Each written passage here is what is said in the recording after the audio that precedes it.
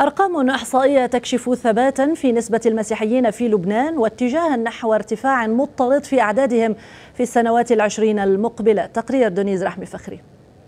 أرقام مفاجئة ولكنها واقعية ومن شأنها أن تقلب رأسا على عقب كل الأفكار المسبقة. هي الأرقام التي توصلت إليها دراسة أجراها المركز اللبناني للمعلومات وراجعتها لبنان Statistics وحملت عنوان الواقع الديموغرافي في لبنان.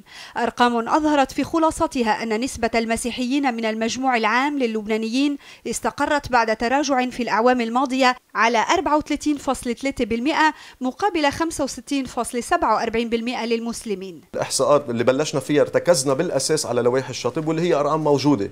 ومن لوائح الشاطب بلشنا نجيب كمان أرقام طلاب الجامعات، طلاب المدارس، أعداد الولادات وشلنا أعداد المهاجرين اللي طلعت معي بالمرحلة الأولى، قدرنا نتوصل إنه نسبة المسيحيين اليوم بلبنان توصل 34.3%.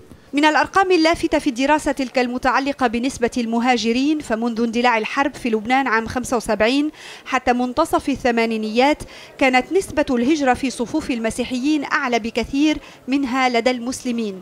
لكن العكس حصل. ابتداء من منتصف الثمانينيات وحتى العام 2011 حيث سجلت نسبة المهاجرين المسيحيين نحو 47% مقابل نحو 53% للمسلمين. في عندك المصادر متعددة أوقات بمطارح معينة كانت تعطي آه، معلومات متناقضة.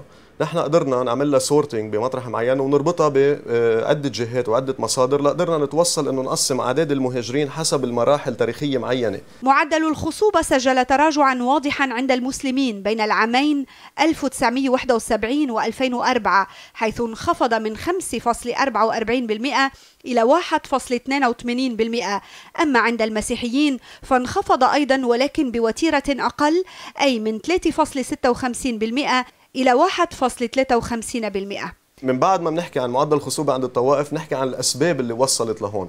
من من النزوح إلى القرى من زيادة نسبة التعليم من العولمة من انحصار الزواج بين الأقارب وعدة أسباب نحن شارحينها بهالتقرير هيدا.